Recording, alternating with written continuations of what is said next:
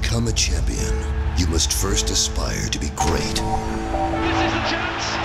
He's done it again. As we emerge upon the grandest of stages, true champions search for the spotlight. The. At times, they came up short, Oh, he's missed it.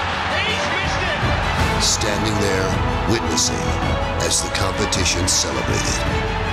It all becomes worth it the moment they are crowned champion.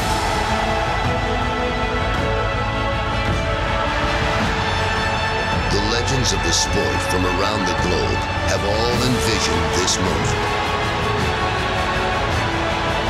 Today, future champions have their eyes glued to the pitch.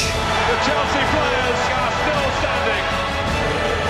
Today, a country's passion is rewarded.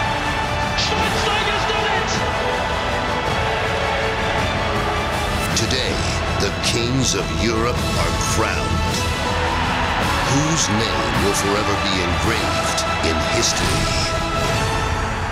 It's the Champions League final, and it's only on Fox.